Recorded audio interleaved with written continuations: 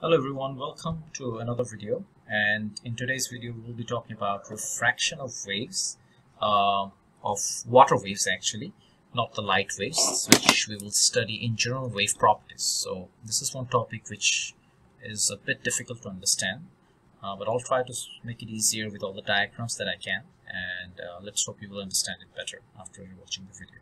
Okay. So this is from the chapter general wave properties in O level course. The chapter is general wave properties where we discuss about all the properties of all waves in general and there is one topic where we discuss about refraction of water waves inside a ripple tank. So before going to refraction of water waves, we have to see what a ripple tank does. What, what is a ripple tank? Why do we use it? So a ripple tank looks somewhat like this. It's a glass tank, a rectangular glass tank, uh, where you have a wooden bar which might be supported by an elastic band or might be supported with, with a motor. Uh, there is a light source above it. The glass tank contains water and below it there is a screen, right? So what happens is this wooden bar, it can move up and down. Like in this case, it's connected to an elastic band, right? So elastic band allows it to move up and down and keeps on moving up and down. In other cases, you will find there is a motor attached here which causes it to move up and down automatically. So as this wooden bar moves up and down, it creates a ripple inside this tank, which gives it the name ripple tank, right? So the water wave is created here. This light source on top is putting the water shadows below on the screen. So you can see shadows of waves which is formed below the screen and uh, I'm sure you all know what wave fronts are. So these are wave fronts which you can see on the screen. So this allows you, the ripple tank allows you to see the wave fronts as the waves in the water above is passing by. And from there you can measure the wavelength. You can observe any change in the wavelength. You can see the change in any direction of the wavelength and all. So this wooden bar is actually producing the waves and the light above is allowing the shadows to be formed below on the screen, a white screen where you can observe the wavefronts and can also observe their change in direction, uh, their change in size and all, right? That is why we use a ripple tank.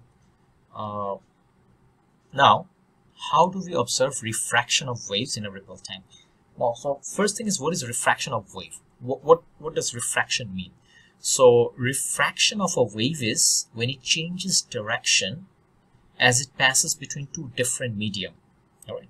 Uh, when we go to light waves, we will see these are optically dense medium where light can travel with different speeds. When we're talking about water wave, we mean when water is traveling in a shallow region and in a deeper region. Okay, it's because in deeper region, the water has a different speed. In shallow region, the water has another type of speed. So when we talk about uh, uh, refraction of waves of water waves, we are actually talking about the movement of water from deeper to shallower region or vice versa. It could be the opposite. In either case, the direction of the water changes. Now, how does a ripple tank help us in uh, viewing the refraction of light? So what we do is, you see the depth of the water here. This, this is the depth, right? Let's assume the water is filled up to the top and this is the depth of the water in the ripple tank. What we do is we place an object inside this ripple tank. Let's say I place a plastic bar or something over here or a perspex bar or something so that at this point the depth is reduced. Let me draw it again. Uh, much. Let me just use another color. Yeah. So let's say I have placed a plastic bar just on this part for this part only okay plastic glass doesn't matter whatever I have placed so you see the depth here will be reduced. The depth is now only this much. Before it was the entire glass block. Now it's the depth is only this much. The water can pass above this particular glass block or plastic block doesn't matter but the depth is reduced. So here the depth was more. Now the depth is reduced. When water waves passes over this particular region from here to here we will observe certain changes in the behavior of the water waves. We will see that the wave fronts show certain differences, certain change in direction or change in length as it passes from deeper to shallower and again from shallower to deeper. So let me just clarify it a bit more. When the water waves are traveling this is the deeper part, right? This part is called the deeper part because the depth is more. Then we have a shallower part where we have placed a glass block uh, or a plastic block to make it a bit less deeper, which is called a shallow region. And then again, when the water passes out of it, it's again deeper region. So what is happening when it's going from deeper to shallower and then from shallower to deeper again? That's what we are going to observe in this video. Okay, so let me show you a diagram first and then we can go into explanation. This is how it looks. If you're looking from the top, if someone is viewing it from the top, let's say you're standing here and you're looking it from the top view from above, this is how it looks like so as I explained, you have a glass block or a plastic block in between. So waves, waves were coming. Then there is a shallower region because the depth is reduced. And then again, you have a deeper region. So if you are looking from the side view, this is how it looked. So this is this is where the waves forming. The depth was more. This is the entire length of the tank. And then you placed something over here. If you're looking from the side, this is the side view and you will observe when the waves enter this part they show certain change in behavior from the side view. And from the top view this is how it looks. And the actual picture would look somewhat like this. So the waves one are coming and you placed a glass block or something. This is again the top view. You're looking from the top of the tank. So if you're looking at the, from the top and you look inside this ripple tank you look inside this ripple tank this glass block would look like this. This is the glass block here. All right. So I guess I made it a bit clear. Now let us see what actually happens when this water travels from the deeper to the shallower region. Okay. Okay. So this is the top view of a ripple tank. Okay. So the ripple tank that we saw here, you're looking at it from the top. This is a top view that I have drawn here. Just the same that we have seen here. This either this one or this one. So you're looking from the top on a ripple tank and you see waves like this. So these are the wave fronts. We have already discussed what wave fronts are. So these are wave fronts and uh, these are deeper and shallow regions are marked. So this is deeper, this is also a deeper region and in between you have a shallower region. How did I make a shallower region? By placing a glass block or any object uh, to, to reduce the depth of the tank or to reduce the depth from where the water will travel. So once you're observing it, what you will see is if the waves are traveling towards this direction, you can figure out the wave fronts from here. These are wave fronts and the distance between each wave front is called wavelength, right? So you see the wavelengths up to here is fine. But once it enters the glass block, there is a change in the wavelength. You will observe that the wave fronts are coming closer and the wavelengths are becoming shorter. So as it enters the shallower region from deeper to shallower region, one of the change that is observed is the wavelength or the lambda becomes smaller. So from deeper to shallower, the wavelength becomes smaller. Then again, when it leaves the glass block, when it's again into the deeper region, we will again observe the wavelength has increased. So if it's going from shallower to deeper, that is the opposite, we observe that the wavelength again becomes larger, just equal to what it was before, not larger than that. So that is one of the change which occurs when wave travels from deeper to shallower region. The wavelength decreases. All right. Now, we already know the definition of frequency. Frequency is the number of waves produced in every one second. So let's say the waves coming from here, there are 10 waves coming uh, in one second, right? 10 waves in every one second. So the frequency is 10 hertz. Now, 10 waves coming in one second, this value is not going to change. Doesn't matter if it's traveling in deeper region or shallower region. So if you're allowing 10 waves to go from here into the ripple tank, or you're producing 10 waves in every one second, 10 waves are going to pass each point in the tank in every one second. Doesn't matter whichever point you, took, you take because you're producing 10 waves, each point of the ripple tank will show you that there are 10 waves passing in every one second through that point. Let it be deeper or shallower. That means the frequency over here is also 10 hertz, that is in the deeper region.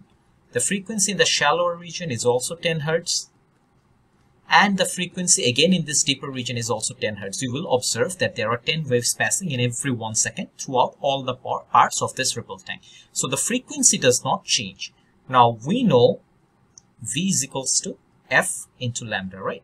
And uh, we are saying the wavelength is decreasing but the frequency is remaining constant. Whatever the frequency was, it's remaining constant. So when it's going from deeper into shallower, the wavelength is decreasing, frequency is remaining constant.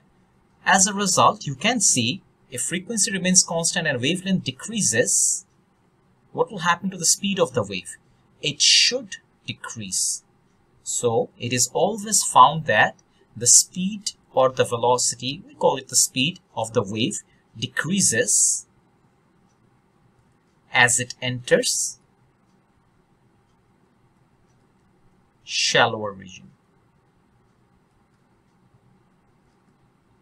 As it enters a shallower region, the speed of the wave decreases, right? So keep this in mind as the wave enters from deeper to shallower region, the speed of the wave is reduced. Okay? Why is the speed reduced? Because the wavelength is shortened. And if the wavelength is shortened frequency remains constant then the speed of the wave automatically gets reduced right? So this is one of the property of refraction uh, when of water waves when it travels from deeper to shallower region. Now there is one thing you have to observe here. This wave fronts which are traveling into the glass block it's actually perpendicular to the glass block. The direction of the wave fronts traveling is perpendicular to the glass block's placement. See, the glass block is placed in such a way that they are perpendicular to each other. What if it is not perpendicular? What if the glass block was not placed perpendicular? Would the diagram look the same? No. Then there becomes some differences. We will observe that at that point, there are certain differences which are seen here, right?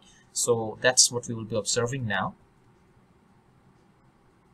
Let's say the glass block is now placed at an angle other than 90 degrees. So you're looking again from the top.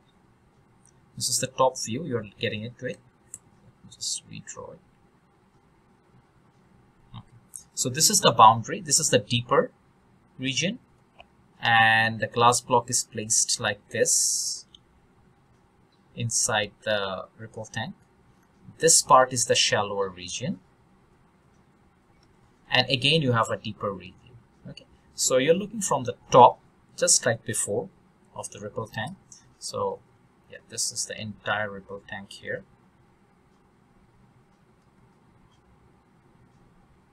But now the glass blocks are placed uh, at an angle other than 90 degrees. So the wave fronts won't make 90 degree with the direction of the glass block. What will happen now so again, we draw the wave fronts. They're coming as in the deeper region.